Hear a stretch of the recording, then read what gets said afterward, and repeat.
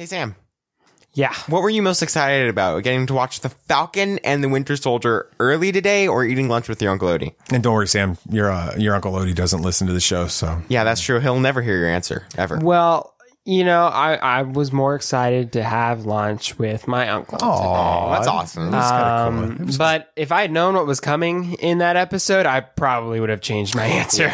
yeah, it that was, a- such a good episode. that was nuts. That was insane. All right. And on that note, we'll start the show after these ads specifically chosen for you, even though you're almost certain to completely ignore them for the entire 30 to 60 seconds that they're playing. This is Tatooine Sons.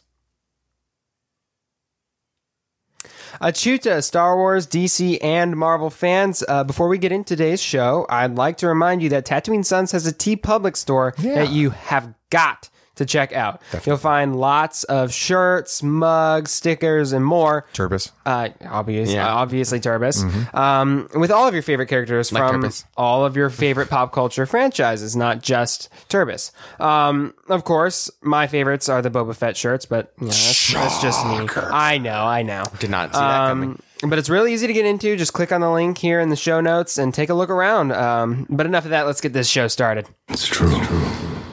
All of it. What is the name of the porg on the Millennium Falcon? Force is strong in my family. What do you think his name is? it's a big moment.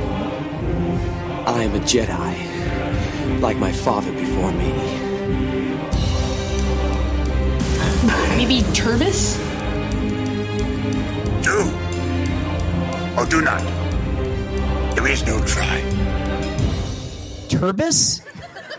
Pablo, if you're listening to this live stream, that porg's name is now Turbis. It's a good Star Wars name. We're not done yet. These guys recorded an awesome podcast called Tatooine Sons. Everybody was lit. Yeah, we got to try hot dogs with toasted buttered buns. Yeah. It's probably is normal for a lot of people, but it's not for Yeah, us. like our neighbor came out. We were like freaking out about it and told him about it. And he's like, "Yeah, everybody knows that." So, yeah. It was our That's first good. time. Yeah, that was a lot of It fun. was very So- good. Well, welcome uh, to Tatooine Sons, a pop culture podcast.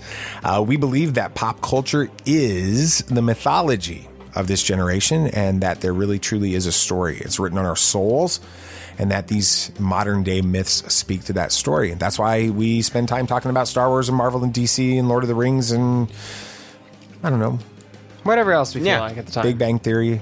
Yeah, that's a good show. I don't think we've ever talked about that. Anyway, it's not really. I mean, it's pop culture, but it's not what we talk about. Anyway, um, uh, I am David. I'm the dad. Hi. Hi, Father. Dad. What's up, guys? I'm joined by a couple of uh, pretty cool dudes uh, that happen to be my it. sons. They must take it after their mom. How are you doing today, BB Nate? I'm doing good. Excited to be doing this again and excited to talk about Falcon and Winter Soldier and the amazing trailers that came out this week. We haven't talked about it at all since watching the episode, really. So this is going to be fun. How about you, Samuel the Hutt? How are you? I'm great. Yeah.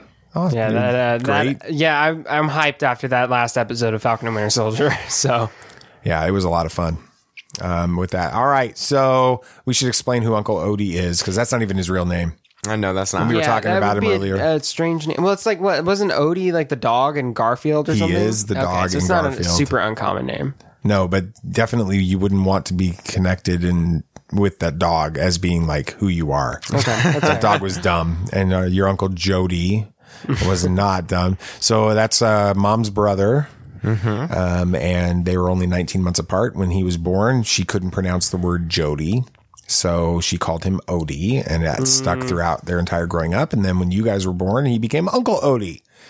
And he was driving through town and he stopped by for some just hot dogs. that turned into gourmet hot dogs. Yeah, because- gourmet hot dogs because they're toasted buttered buns. Which That was like is the really- whole reason he stopped by. Is he's like, "Oh, y'all having hot dogs?" And then mom and he was like, "Yeah, I like the buns toasted." And mom's like, "I'd never heard of that." And he's Yeah. like, "Oh, we got to fix that." So So he stopped yeah. by. It was a lot of fun. It, was was. good too. It was, really very good. good. Yeah. So um, we got a couple weeks uh, left before we move. Can you believe that, guys? Yeah, we have a lot to pack. yeah, there's still a bit to do, but you guys are gonna do a lot of packing on Sunday. I understand. Maybe. Yeah. Trying to get the podcast room, Yeah. uh, taken care of, which is Yeah. going to be the hardest room. Uh, really, yeah, it's the one room we've really like settled into. Yeah, well, because we were doing the po- the Facebook Right. show, and so that that created some challenges with it. So anyway, yeah. Um, and then we're fortunate to still have a Buster. You know, Yeah. His dog is on his 12th life. Yeah. So for those of you that are maybe just new to the show, the segment you hear during the intro that you just heard is where BB Nate at 12 years old before he had a voice change asked Rian Johnson uh, what the name of the uh, main porg on the Millennium Falcon in the Last Jedi was. Ryan responded, "What do you want to name him?" He calls him Tur- uh, BB. BB Nate responded with Turbis, which is actually the name of our dog. Tuckerized. Tuckerized is something that happens in Star Wars where you take two syllables, you flip them and can create a new name. Buster became Turbis. Turbis is now canon and Turbis, or Buster, excuse me, almost died this week when our neighbor's pit bull got loose and attacked him while he was trying in our backyard. Yeah. Yeah, that was fun. I was out there and he was on a leash and this pit bull came up and started trying to bite his neck and everything. And my s- foot was like pushing the pit bull back. It was a lot of fun. Yeah. And you like were holding Buster up by the leash on his collar. Just and, trying to like, hold trying to pull away. him back. Strangling and him. he was just standing there. I'm like, get inside, you dumb dog. Yeah, it was it was a little It scary, it but he was was fine. He was no worse for the wear. Nah, He's he's, a little bit uh, sh- shook up after, but he was fine. he's good. Yeah, he's awesome. Still got a Buster. So yeah, so good. Well, why don't we talk about this episode that we've been waiting to talk about all day? yeah, so it's uh, the end of Act Two of the Falcon and Winter Soldier, and boy, did a lot happen. Um, we got to look at some of Bucky's time in Wakanda. Um, Carly is getting more and more radical, and uh, John Walker. Where to even begin with him? Uh, we'll break it all down after this. Be on your guard. There are older and fouler things than orcs in the deep places of the world. All right, then, keep your secrets.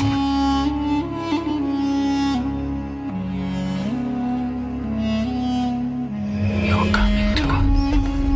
Is as the footsteps of doom.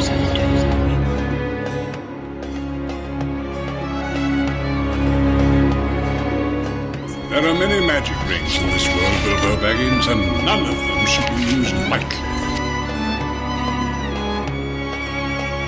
Yeah, we should probably explain why that is. Because Yeah, I imagine that's a little confusing. It'd be more appropriate for Nathan Why for would him it- to do this segment.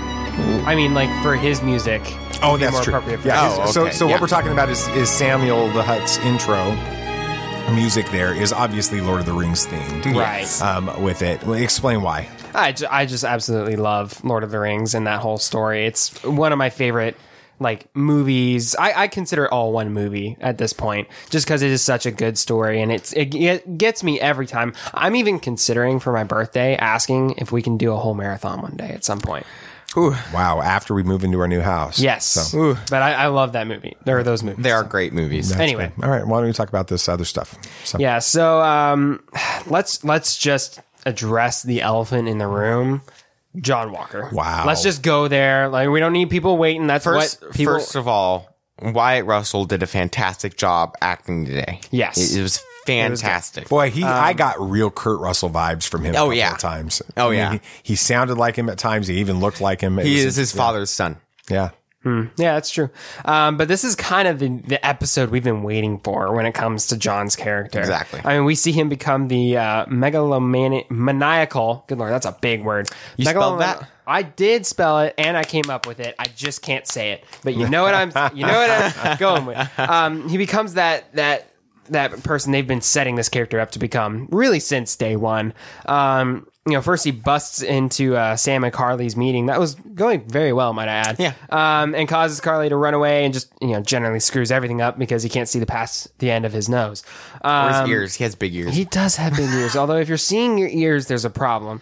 Um, and then eventually he gets his hands on the um, last vial of super soldier serum.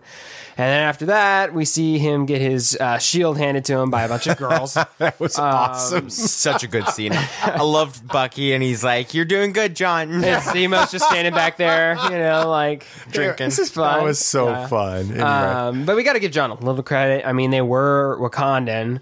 yeah, they um, were freaking awesome. That was so cool. What were the the, the Dora Del I don't know how Mirage or something like it that. It doesn't matter. It was Uh, awesome. The, the, the amazing butt kickers is Exactly. what they were because Right. they, they kicked butt. So, so cool. Yeah. Um, but after that fight, if you can call it that, uh, John remarks that they weren't even super soldiers Yeah, and yeah. they won. Um, and then later on, there was this really interesting discussion with um, John and Lamar.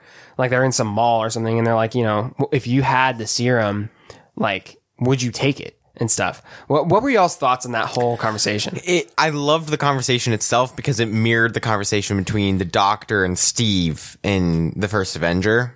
Um, he's like, it brings in, he's like, the serum brings in whoever the man is inside out. He's like, a good man becomes great and a bad man becomes worse. Like like Red Skull. Exactly. And what Lamar said is he like, he was like, wouldn't a little bit of more power bring out who you really are and bring, make you more powerful? And so it mirrored that, but it kind of a twisted way. Like they weren't seeing it correctly. Like more power is better than being a good man, like how mm. Steve was. And so I really loved the conversation itself and how it was a different take on that really fantastic scene. Well, it's also a different take on the exact same conversation that happened earlier in the episode between Sam and Bucky. Yes. Because Bucky and asks Sam, or who was it that asked? It was Carl. It was Zemo. No, it was Zemo. You're right. You're right. You're right. It was Zemo. Asks Sam if you had the opportunity to take the serum, would you take it? And he mhm. responded within a second. He's like, no, absolutely not.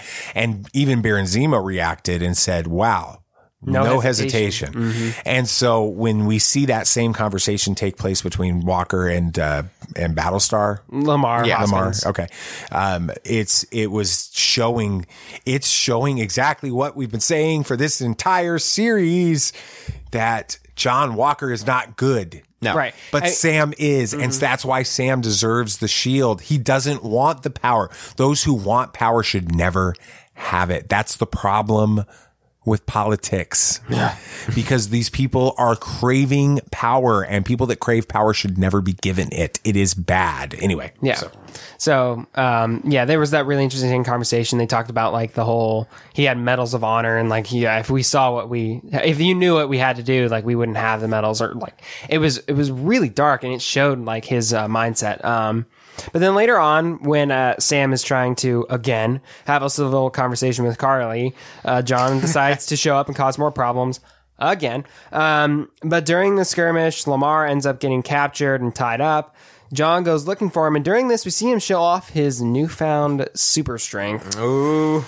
Um, and then eventually, John ends up uh, back with Sam and Bucky fighting off a whole bunch of uh, flag smashers. And during the fight, Lamar en- en- ends up escaping and comes back and tries to intervene, but is actually killed by Carly. Yeah. Like, Were you guys so- as shocked about that as I was? yeah, it was Yeah. so sudden. Like it, they, he didn't have like his dying words or dying breath. Like he, he was done. He was just dead. He got Yeah. punched and was dead. I mean, not much for that. Sorry for that actor. I guess you're done, but uh, he got his 15 minutes of fame in Marvel. But anyway, that uh, you know, at that point, uh, everybody you know kind of decides it's probably best that they go and take a walk um, and get out of there. Um, as everyone is fleeing, though, John jumps out of window, oh, out a window, and does his you know superhero landing. pose. I don't know if was y'all cool. noticed that. It was much better than much better than Bucky's superhero landing. yeah, poor in Bucky. He'll get one eventually. Yeah. Um, Well, he had one in Winter Soldier. Yeah. did he? Oh yeah, he flips off the car on the interstate. And Oh lands and yeah, stuff. It yeah, was awesome. It was cool. Um, you know, so he jumps out this window and he's like looking, he's searching for revenge for Lamar's death, right? Um, eventually he finds one of the flag smashers and, um, you know, is asking him where Carly is because Carly is the one who killed Lamar, so he's looking for her, but he doesn't even give the guy time to answer and Mm-hmm. he just takes the shield and really gruesomely murders him. Yeah, you take the scene in Civil War where Cap is trying to battle Iron. uh, Man. Iron Man in uh, Russia, right? It's at the, Uh, yeah. the- where the Winter Yeah. Soldier program is, and there that's that epic battle, Right. And he's just taking the shield and he's just pounding the corner, After Iron Man hurts, like severely hurts Bucky. right? But the difference is Cap knows that there's this armor, Yes. and he's just trying to stop. Yeah, he defeats the enemy, but he doesn't kill him. Yeah, that is not the way that John Walker uses. John defeated the enemy and then kept going. Yeah. It was it was a really interesting parallel. I and they and they very specifically chose to do it that way. I think, um, and so you know that the he he kills this this this flag smasher as the whole world is watching. All these people have their phones out, um, and then the episode ends as John stands there with the bloodied shield on his Yeah. arm. Very comic book like style. That whole like image just looked straight out of a comic. Um, it, it seems like our theory about John came true. It's not a theory anymore. It's fact. Yeah, um, but we expected Lamar to take the serum too and become this Battlestar. Now that Hoskins is dead, what do you think this is going to mean for the character of John Walker? I think that he's just going to go solo. Um, I think he's just going to be a bad guy. If he even makes it through this series, I'll be surprised. Um, if he's, he might be locked up. Who knows what's going to happen with Zemo and him. Um, I really don't know where it goes from here, but I just, I don't think he gets another sidekick. Uh, I, s- I think I saw somebody say that Carly might become a sidekick. I'm like, no, that's too mm, much, too much bad blood there. I mean, Carly killed Lamar and then he becomes hmm. a sidekick. That'd be, hmm. that would be a great conflict character arc, but it wouldn't happen. Yeah, no, he's no, there's no way that they team up. If No. anything, there's an epic battle coming between John Walker and Carly. Yeah. because John is still as much as he's literally tarnished the shield. Yeah, Um, brought she's brought shame upon the name of Captain America. He's no longer Captain America. The world knows he is not a good man. He's U.S. yeah. I mean, it, okay. it goes back to that one part in uh, when you when those uh, Wakandans came in, and he's like, "Hi, I'm Captain America." Steve would never do that. No, he's his ego is exactly his problem. Yup. and um but he still is going to feel this pull towards stopping the flag smashers that's what this whole thing has always been about so there's no way he sides with carly it's the epic battle between him and carly Right. what we're going to end up seeing now though is this is what moves sam to pick up the shield You're right. He needs to take it away from. from I'm like really friggin' emotional about this show right now because I mean more so than I was even with the Wanda and Vision stuff at this Yeah. point because Sam's and Bucky absolutely love like a brother Captain America and they just witnessed the death of Captain America. the the the symbol. Yeah. Yes. And uh and Sam is right now, you know, post this moment where he's standing there holding that shield, right? This moment at this m- juncture, Sam is blaming himself. And Bucky Everybody else is blaming Sam. him probably Yeah. because we've already seen that. So this is this is a big deal. Yeah. Yeah. Awesome. Yeah, and then we um we got to see a pretty human side of um of Carly in this episode. Yeah. Um, you know, minus her killing Lamar probably, but um I mean, you know, there were a lot of intimate But even though, no, even then, when she killed him, she's like, you could see there was this moment they show her reaction, and she's like, "What just happened? What did she I didn't do?" mean to no, kill him. it's just the strength was too much. she w- isn't in control of it, right? Um, it- there were a lot of intimate moments with her and um, and Sam, which was cool. Like I like how they mentioned at the beginning how Sam was like, "I work with grieving soldiers. That's my job. Let me talk to her. I know what she's going through. I know how to get to her." Um, so it was really neat to see that uh, discussion. Like, what did y'all think about that? That different type of interaction between hero and supervillain. I'm using air quotes here because that those terms are very fluid in this series. Um, but it was more like a civil discussion rather than than like fisticuffs that we're used Yeah. to. What did y'all think about that? I- Uh, it feels a lot like um, the Vision Vision battle at the end of WandaVision. Uh, yeah, um, they fought for a little bit, but then they just started talking things out, and it was all okay. And I I like when they during fights they reason with each other. They figure out the differences, and while they might not agree at the end, they understand that they both understand. And because Sam does, Sam understands exactly where Carly is and what Carly has been doing and everything. yeah. I mean, he even says at one point, "He's like, oh, I have no problem with your mission at all. I think it's great. You're just going about it all wrong." Yeah. Do it the right ways. Go through the correct channels and see if you can get to the parts where you're wanting to be. Mm. So I, I, it was a really interesting scene, and I really liked it. And that's another reason why I think Sam's going to he needs to become the new um, Captain America because they talked about and when they were at uh, when Carly and that other flag smasher were at the grave, they're like the people need someone who's like them who understands what they're going through right now. Sam knows what they're going through. He was part of the blip. He's had to get reestablished too. Just because he was a hero doesn't mean he has it all easy. That was the whole point of those first that first episode with the ship and everything. But he doesn't understand what they're going through. Carly, there's this scene at the at the memorial for the mama Mama, oh, crap. I, uh, Something. anyway, yeah. They, Mama the- Madama. Uh, anyway, no, not Mama Madonna. Okay. Um, anyway, the, this person, uh, we understand the connection with these people and this character because this character rescued these kids after the blip. Yes. Um, or not after the blip, after uh, the snap. So in that five year period, these kids were, were, lo- they lost their families. They lost everything. They didn't know how to take care of themselves. And this mother took care of them. And this is the position that Carly is having. Now they've, the, the world worked together. The world didn't have, in, can I, can I, can I drop a, Go for it.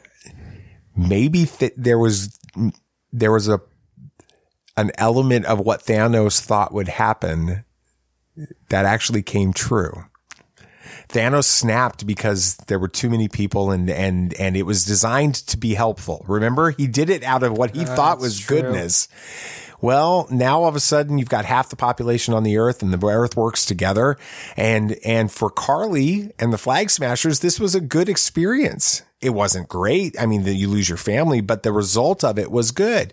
And then they, the blip happens and every sudden everybody's back, you know, Sam and all of them are back. So Sam doesn't relate to Carly. Sam doesn't understand what Carly went through. All right. He wants to, but he doesn't understand it. No. That's a good point.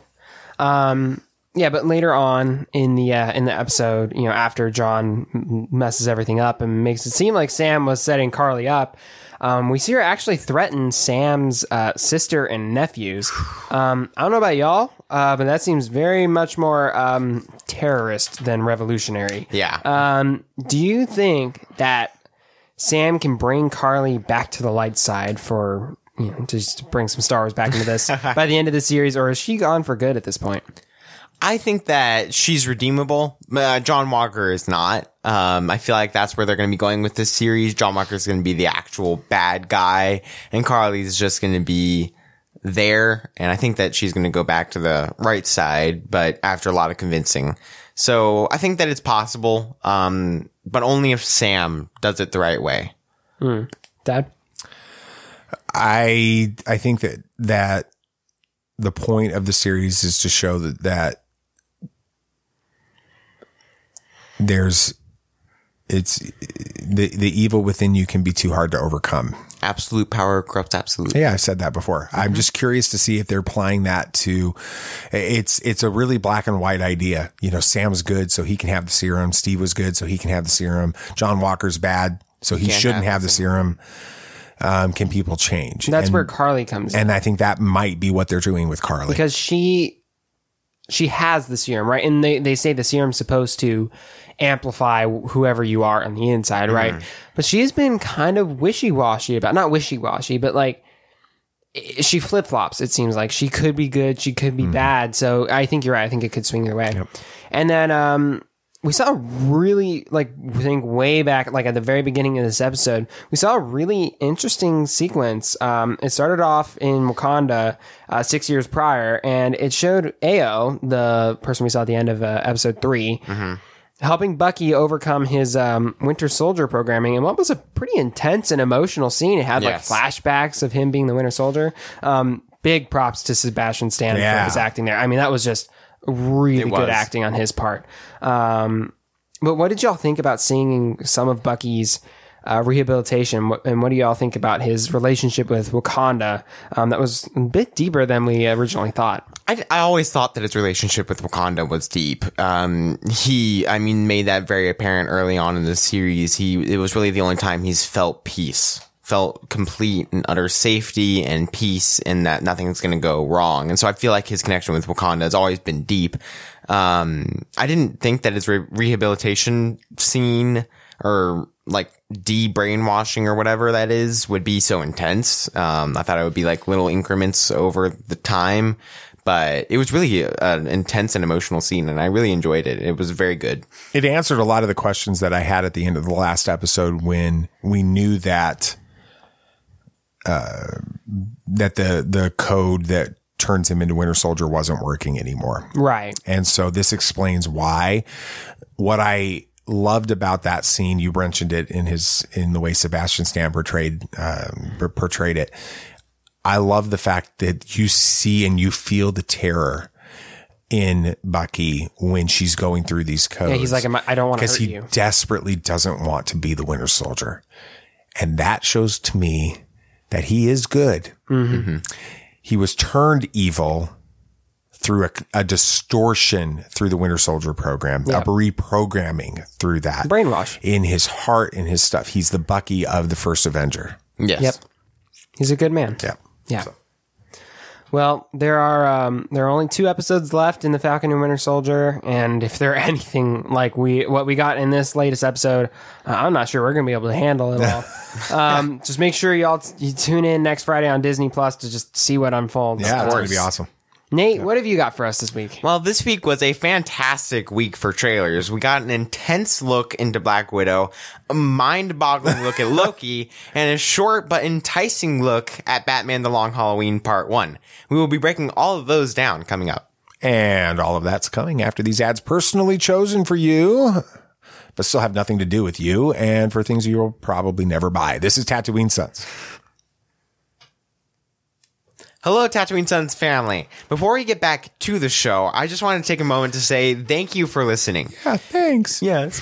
Um, it's fun talking about all of this, but even more fun because of all of your amazing feedback telling us how much you enjoy listening. It's always awesome reading your comments and reviews. If you haven't had a chance to do it yet, we'd love to invite you to give us a review on Apple Apple Podcasts. Apple, Podcasts. Apple Podcast. Apple Podcast. Um, or whichever podcast app you use. It helps us learn more about you and what you love about the show so we can continue to bring the entertaining, family friendly content you're looking for. Thanks again. Let's get back to the show. Have you ever danced with the devil in the pale moonlight? Yeah, I can fly.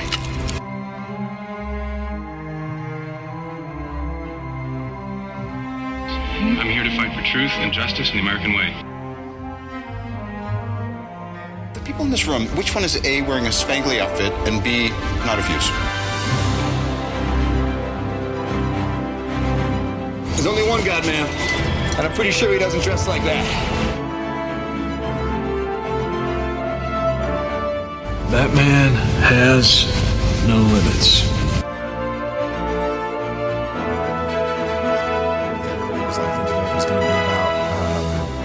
What was the reason they were thinking that they, they were thinking releasing? it was like the Batman trailer was going to take hype away from the whole restore the Snyderverse Wow. stuff, but you know it wouldn't do anything. Yeah. The the movement would still be there afterwards. Yeah, it's not going to make any difference. Makes- All right, so we got some trailers to talk about, right? We BB Nate? do. What's the first one we're talking about? Um, Black Widow had a trailer come out, uh, kind of out of the blue. I wasn't expecting another one until the movie came yeah, we out. were walking around uh, Epcot. Yeah. And all of a sudden it was Yep. like, oh, wait, there's a trailer. So, so how are we doing this, BB Nate? We're going to watch it and talk about it while we watch it? Is- Well, we're gonna watch it. You guys are gonna listen, and we're gonna talk about what we um some things that you know kind of jump out at us and what we think are important. Not much happened that was like super jump out at us uh, in this trailer, but it was good. I don't know. It'd be fun when we break it down. So, Yeah. uh, here we go.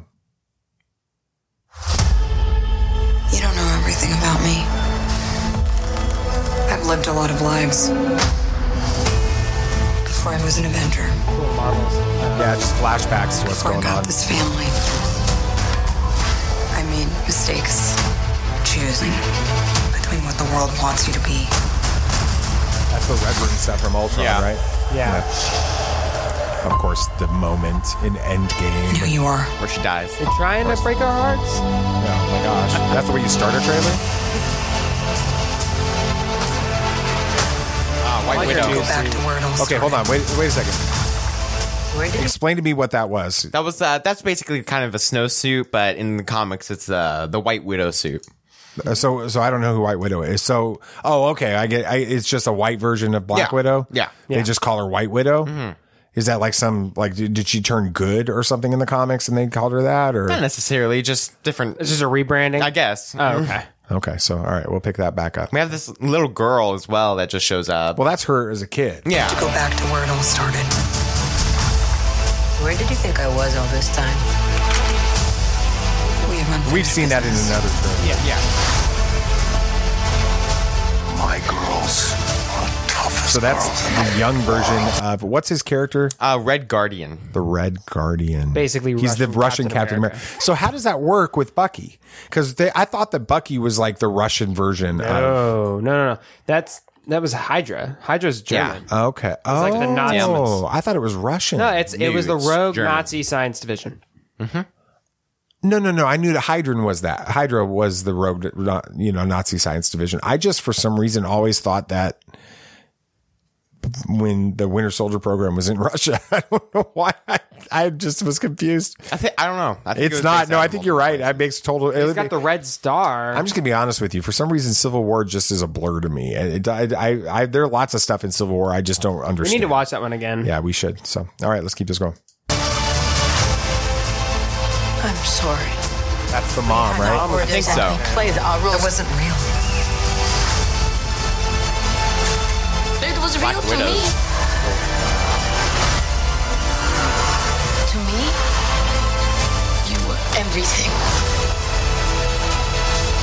Okay, so who's that again? That's the bad guy, right? That's a Taskmaster. Taskmaster. Do we know him from anything else? Has he been in not not anything, anything else? else for MCU. No, but, But- his, yeah, go ahead, Nate. Yeah, I mean, he uh the the guy who's pulling his hood down in Right. the scene we just saw um is uh he says bring her home. So I'm assuming that he's the leader of the Red Room. The Red Room Group. yeah, so Interesting. apparently Taskmaster works for them. So that's interesting and an interesting Wow. Development. conflict. Okay.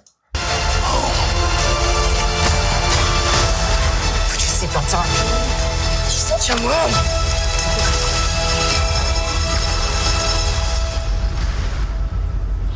Cool skydiving scene. Yeah, that that, that transition was weird to me because was, she was on the ground and now she's falling from the sky. One thing's Yeah. for sure. I'm done running from my past.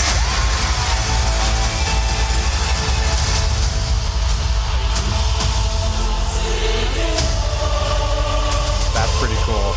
Yeah. The Russian lyrics to the Avengers theme. Yeah, that was pretty cool. It's like a good movie. Yeah, I don't think it tells us anything new No, about the story. Anything stand out to you that's like I mean, we aren't expecting? We had the young Nat stuff, which was interesting, and we haven't had that before. And it, so it seemed like they were talking like her parents and stuff were just like playing roles or something. Like they were just there Yeah. to help her, like as she Grow was, up. Yeah, Right. as she was becoming that Black Yeah. Widow. But then you have the the sister, the younger sister is what Yeah, it's assumed. Yelena? Yelena. She says, but it was real for me. Yeah. So she was Yeah. brought into this apparently very, very young, even younger than Nat was. Mm-hmm. And for her, this was her family. And that's because that's the context on the trailer of Yeah. when that conversation happens is that kind of thing. So that was awesome. I'm I'm excited for it. yeah, it looks like a good good movie. Yeah. Is there anything else in there that like stands out that we need to talk about or should we? Uh, I mean, fantastic action. I'm excited for the yeah. Bourne level car chase. Is what it looks like. That and the skydiving Yeah, fight, fight like whatever. She's so calm as she falls without a parachute. From She had a parachute. 30. th- Did she? I didn't see Yeah, parachute. she, she had a backpack, and she and she if not, back. she's you know Natasha. She'll figure it out. yeah, she'll figure it out. Okay. she's she's fine. That was pretty awesome. Yeah. So, all right. So what's the next trailer we're looking at? Look at Loki. Loki. We got like a Loki really trailer great too. trailer. yeah. Yeah. I think we Were should watch did, it. Then. Did we know that that was coming? No, we didn't know that either of these were coming. I'm telling you, I'm ru- I'm super excited about this series. Of It's great. Let's watch this and like like we need to talk about something. We'll stop it and talk about it.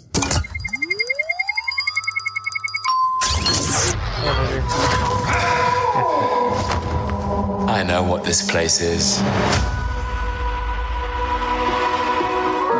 That's actually kind of interesting that Timekeepers are Loki says that. Yeah. circus.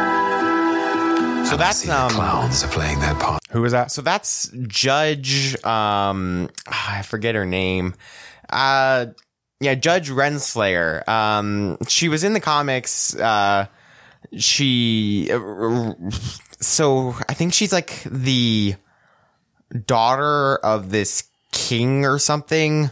Um, and his name is Ravonna, and or I don't remember really how it goes, but um, she's a very important character in the comics, and so she has to do with Kang the Conqueror as well. Isn't that uh, the Quantumania? Yeah, he's he's So villain Kang is supposed to be the main villain in. It looks like he's going to be the main villain of this phase or something. like the So- Thanos of this kind phase. of maybe. Okay. Um, Kang's very important in the comics as Yeah, well. he's a as one big of the character. big villains. So it's um it's very exciting to see that we're getting him in the series already. So Awesome. All right, so we're ready to start this thing up again. Yes. All right, let me get to it again. There. And I see the clowns are playing their parts to perfection. It's like some cosmic.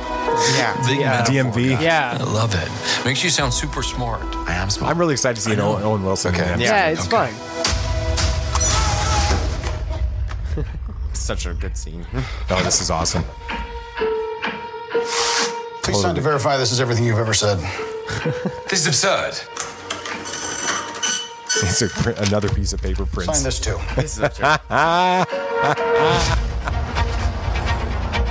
We protect the proper flow of time. Yeah. You picked up the Tesseract, breaking reality. I want you to help us fix it. Yep. That's very end game. Yeah. Yeah, I mean that's why Steve had to go back to put the stones. Yeah. And I think they needed to release this trailer with, with that in it because there were lots of people confused as to the Loki thing. So Yeah. um, earlier in the trailer, we see Loki with a um, vest on, and it says Varian, and that explains um, a lot of things that happened already in the MCU, um, like Thanos.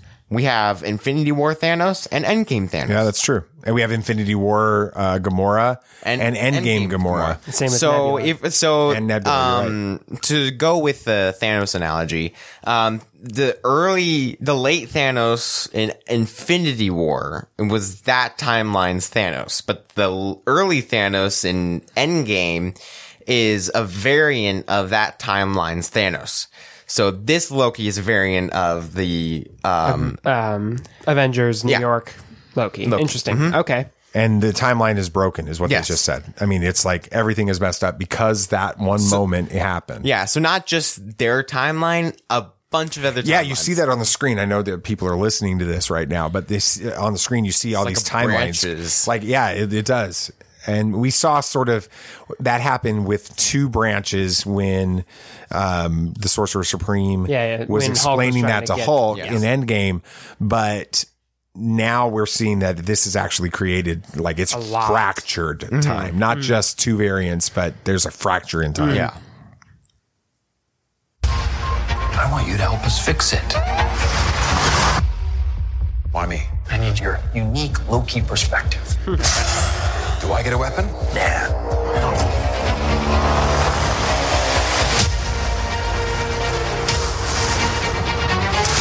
What's Roxxcart? Do we know what that So that's um that's a store variant of like the, The big Roxxon oil company? Yeah, Roxxon Yep. Oil. Who they've been touching on them and every now and then the MCU. Kind Iron of like Man a, three. yeah, like Really? a, like a mm-hmm. bad corporation. So so it's like Luther Cor- LexCorp. Yes, Yeah, it's very kind of, much yeah. LexCorp in in. I mean Oscorp is more like LexCorp, but this is kind of like a second version It's basically just the big bad corporation. corporations. Yeah.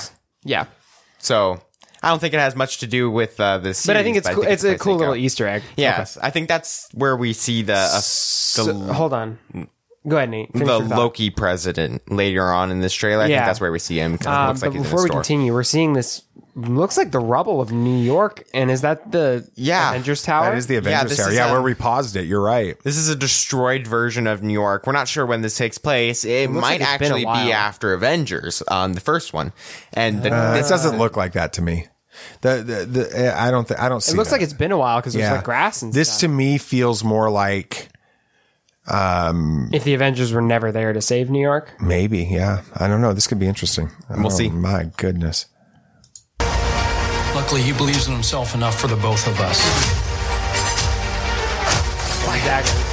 yeah It is adorable. Is that the bad guy? You think you could possibly? We're not sure. We're not sure who that is. Okay. So yeah, okay. So that we, we're looking back here. I'm gonna I'm gonna scroll back because I want to see it again. Um.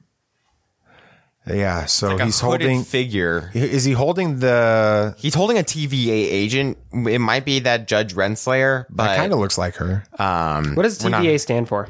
Time uh, variance authority. Yeah. Ah, okay. You didn't know that? I did not. know that. Uh, now you know. something. Do, do, Surprised you didn't know that. All right, here we go. All right. That you think you could possibly manipulate me? Yeah, that's probably Roxxcart. I'm ten steps ahead of you. You want to pause? So yeah, that that place we just saw, That it's like this area? purple cracked area. Um, it really looks a lot like a Oh, that's a great show. a little bit like a like I was saying um a Sanctum Sanctorium. Um, Kinda, a lot like, yeah. and later on in the trailer, there's another scene of it in a room, and it looks exactly like one of the rooms in there. And so I'm wondering if it's a different timelines version, maybe a Dark Dimension version Of the a Sanctum Sanctum Sanctorium. Sanctorium. Wow, that's that's a beautiful shot. It is. Okay. You're not big on trust, are President you? Loki. You can trust me. Oh, Loki, I've studied almost every moment of your entire life. You've literally stabbed people in the back like 50 Cover having lunch in a cafeteria. Why never do it again?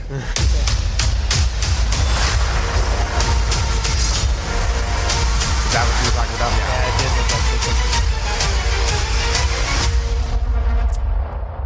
Looks good. Good trailer. Wow. Looks- What stands out to mo- you guys the most in that one? I'm not sure. It's going to be one heck of a ride. it looks like so much fun. I actually was looking around, and um, it will be in the same format as Falcon and Winter Soldier. Six episodes, forty to fifty minutes long. So Really, that's been confirmed. That's not just some theory that's out there. Wow. I like it. I'm really I'm excited. really excited. It looks so good. It starts June 11th. Is that it it? does June 11th. Um, too long to wait, but you know we always have to wait when it comes to good things. So So who's this Mobius? That's the character played by that's Owen. uh, that's Owen Wilson's uh, kind of like a handler.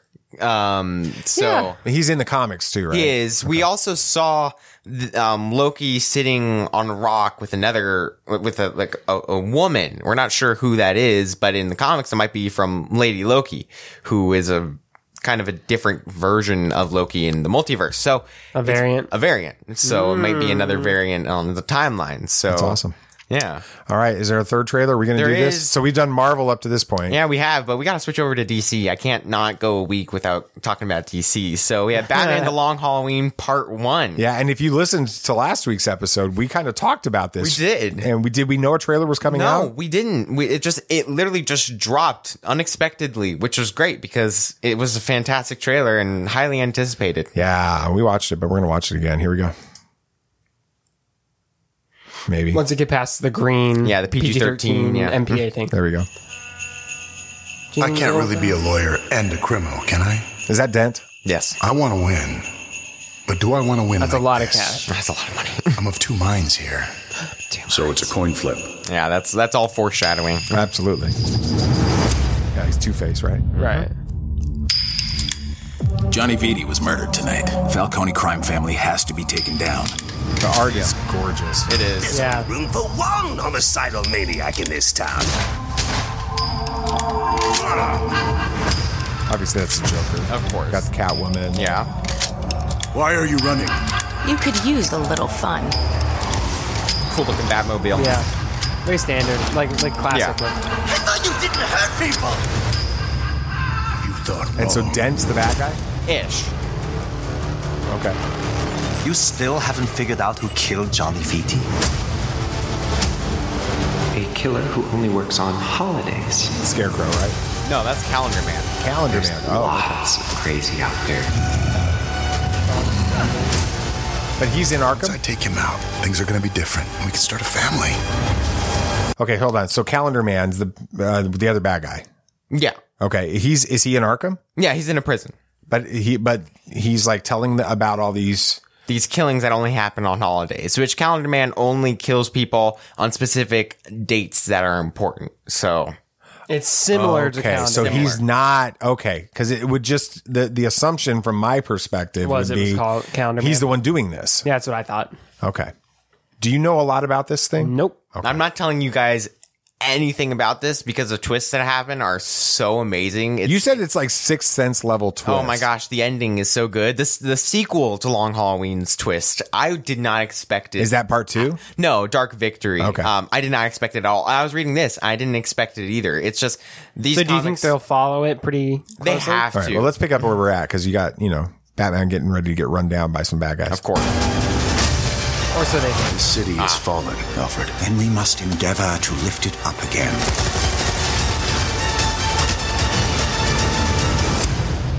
Oh, that looks so good. Who is Holiday? And who's next?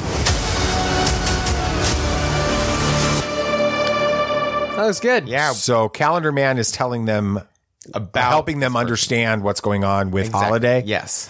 And Holiday is the real bad guy. Yes, the holiday. But we don't know who Holiday is. No, we don't know. And is that the twist? yes? The, the who it is and why he's doing. So it's like Hush, kind of. yeah, but uh, hopefully a better even twist than um The, animated, Hush. movie. yeah, I was not. Yeah, it was. It's so good. I'm so excited. Um, but Yeah, it looks good. I want to watch all three of these. Yeah, they're well, yeah. Well, I mean, we will. So but um, this actually does place take place in um really soon after Batman Year One. So I guess you can watch the Year One movie to get a And that's out too, right? Yes, that's Okay. been out for many years, but. I mean, you can watch this on on-demand services sometime this summer. We don't have an exact date, um, which is sad because this looks very good, and I want to see it soon. yeah, we'll but- see it as soon as it comes out. I'm here in August, is what I is what I understand. So sometime Really, August. August? Really? Wow, that's that's late. But um, all of those trailers made me very excited for what's to come in the future, uh, the near future, especially the Yeah. long Halloween trailer. That looks Yeah. so good. But um, Dad, do you have anything this week? Well, yeah. I mean, not much. It's not like last week. With uh, it kind of last week kind of feels like a mirage. Um, uh, we had a little bit of fun Star Wars news to talk about, but then this week came along and all of it's gone. But thankfully, our friends over at dorksideoftheforce.com have been speculating responsibly. And we're going to jump into the deep end with them. And that's all coming after these ads personally chosen for you to try to convince you that the internet has secretly planted a chip in your brain that knows what you're thinking. This is Tatooine Sons. Hey, lis- listen closely. I've got a, I've got a secret. Okay. I know how you can become a superhero. Ooh. Yeah, no, I'm not pushing super soldier serum or anything like that. So let, me- let me explain. Uh, you know, in all seriousness, um, right now there are 400 million children living in extreme poverty. And that means that they're trying to survive on less than $2 per day. In fact, uh, 40,000 kids will die today because they don't have basic necessities like food and water and a dry place to live. But here's the good news. You can become a superhero for one child. Uh, we call these heroes child champions for just $39 per month. You can provide all that they need and so much more. So if you want to become a superhero, you want to change the world one child at a time, uh, check out that link in the show notes. Hokey religions and ancient weapons are no match for a good blaster at your side, kid.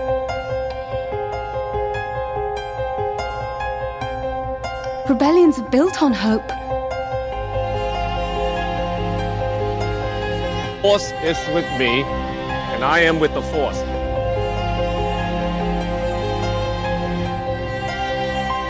If you live long enough, you see the same eyes in different people.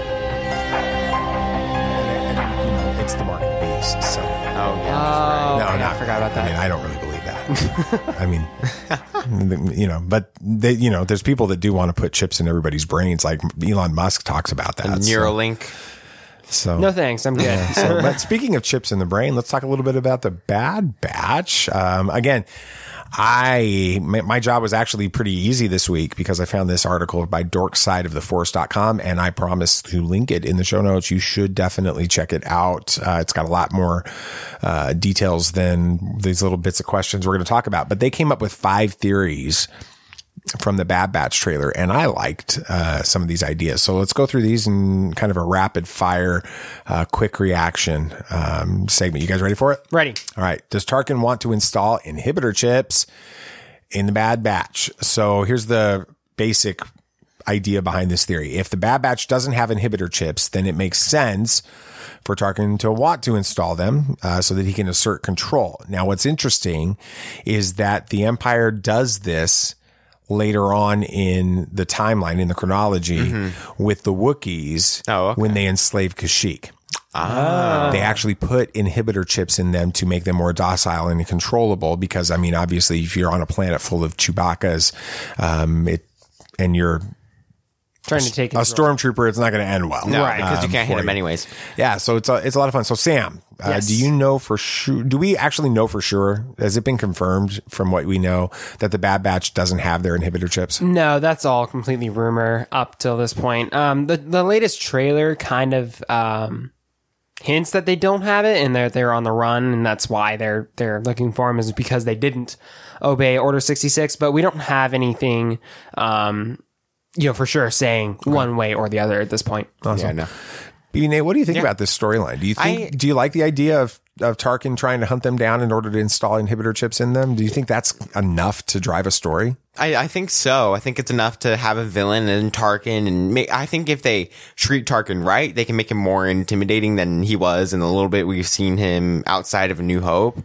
Um, so I think it would be really interesting to see the storyline. I've always thought that the Bad Batch didn't have inhibitor inhibitor chips put inside of their brains because they needed to be fully um, able to complete missions. So Were the Bad Batch a mutation that just happened in sort of uh, coincidentally or accidentally, or was the Bad Batch something that was developed? So I think they said um, we need to watch the arc again, but I, I I think they said that they had mutations that were desirable, and then they just took those mutations and amplified them and enhanced them, basically. So like each clone like just came out with their own, for lack of a better term, defect, but they found out it was useful, and so they they capitalized on it. Interesting. Okay. All right. Theory number two. Here we go. And we're going to start talking about this guy a lot. Um, is Omega a force sensitive child? So here's the idea behind the theory. The Emperor has always had this thing for capturing force sensitive children. Um, so have the Jedi. But anyway, um, so, Let's go about it so the idea behind this theory is that that Omega is actually one of these force sensitive children that's been, you know, absconded by the Empire and taken us and taken away. We see this storyline really play out with the Empire in Star Wars Rebels in in a couple episodes. But do you do you like this, Nate? Could could Omega simply just be one of these force sensitive stolen from his family? Um, maybe. I think that I don't. I think he's a clone, but we'll be getting into that in a little Yeah, bit. yeah. But I really do think that he's a very important character. I don't know if he was stolen from his family. Um, I mean, I think that he was stolen from his uh, second grade class on his field trip to Kamino, but um, but I I'm very excited to see this character and what he can do and. I don't know. I, just, I he's so vague right now. We Yeah. have nothing. Well, Sam, what do you think about this idea? What if he was taken by the Jedi Order at some point, like they, you know, take force sensitive children and then, um, and then taken to Kamino or something like that? You okay over there? Water went down the wrong pipe? Yeah. All right. Well, don't cough into the mic. Okay.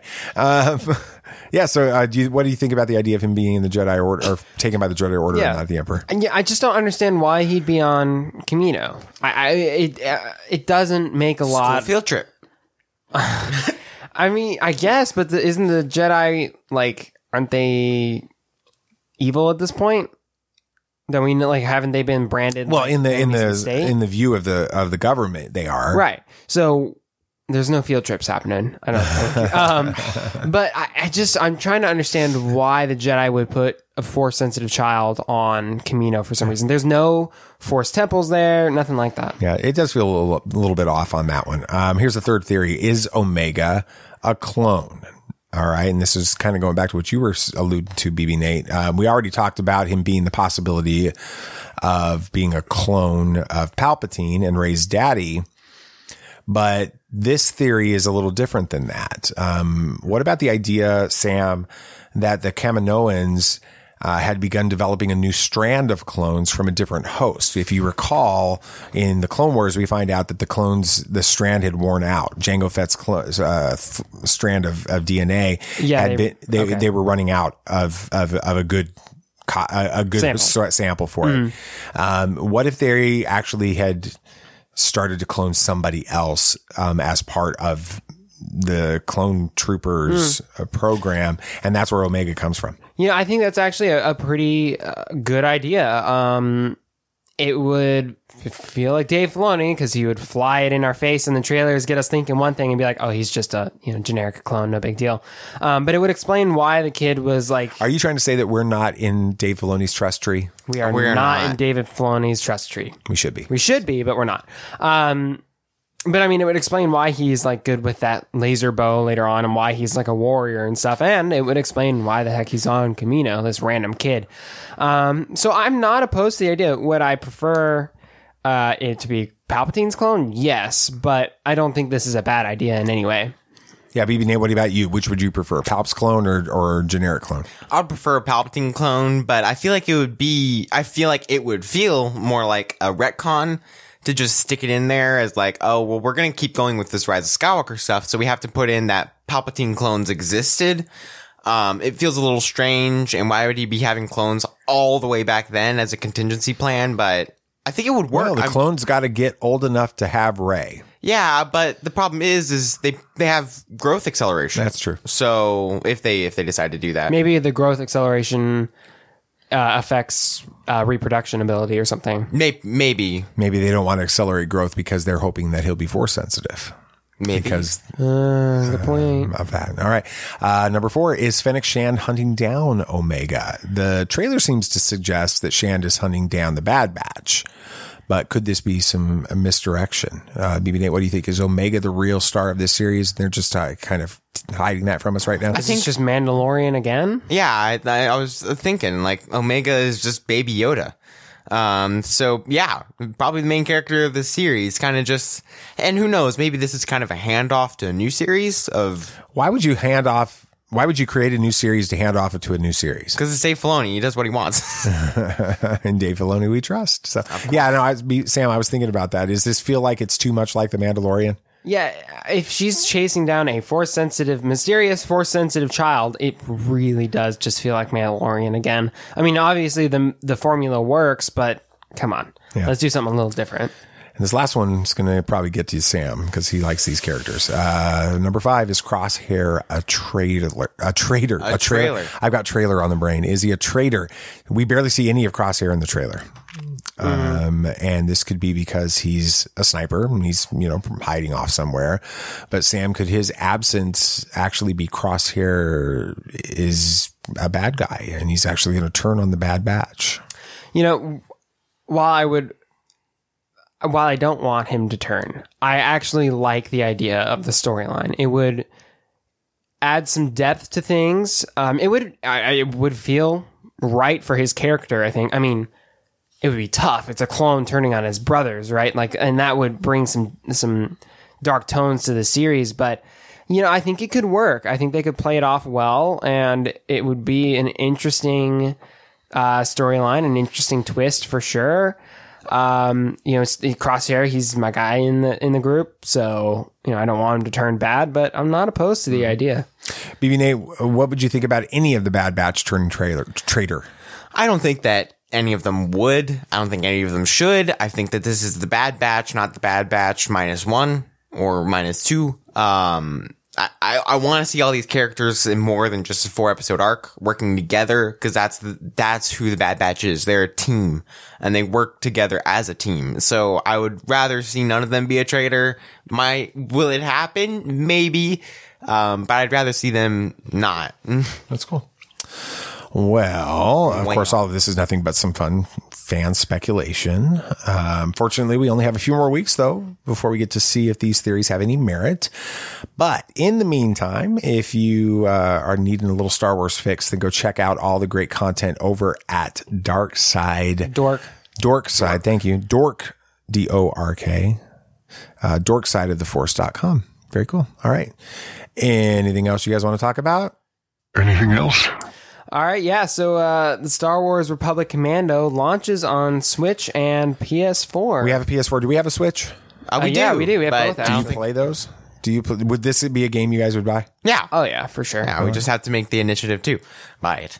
So, um, and there's a rumored log line out for the Ahsoka series. Of course, this is just a rumor, so take it with a grain of salt. But it hasn't been confirmed. I doubt it's true. But it says Ahsoka Tano is on the hunt for the evil Grand Admiral Thrawn in the hope it'll help her locate the missing Ezra Bridger, the young Jedi that disappeared with Thrawn many years ago.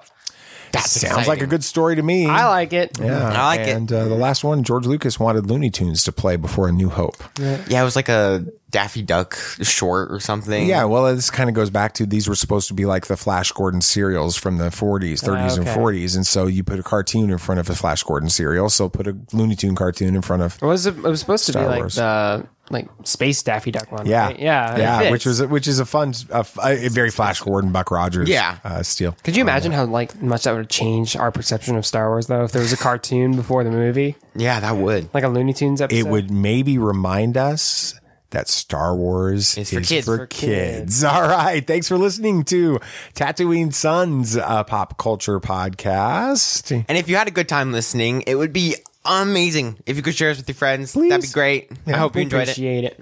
Um, and of course, this show's only a small part of the Tatooine Sons world. So be sure to like us on Facebook and follow us on Twitter to get in on all the action. Um, and to stay updated on the latest pop culture news, go to TatooineSons.com. And I want to thank the two of you guys for Aw, jumping in to help us you. try to build that site out. We got a lot more work to do, but uh, It's get getting it there. done. Please don't forget to follow the show on your favorite podcast app so you don't miss our next episode and drop us a review on Apple Podcasts or whatever podcast service you listen to, except for Spotify. I don't think that they do reviews. do I don't think they They're do. dumb. Yeah, um, but yeah, uh, let us know that you love us. It makes us feel good. So, and then make sure you join us next week uh, where we will uh, share all of our reactions to the beginning of Act Three, Episode Five of the Falcon and the Winter Soldier. Here it goes. And it's going to be a lot of fun. It's going to be a rough couple weeks. It is. Um, anything else you guys want to say? May the force be with you. May the force be with you. May the force be with you always. This party's over like that Wookiee. Don't get technical with me. Join, please. Yep, yep.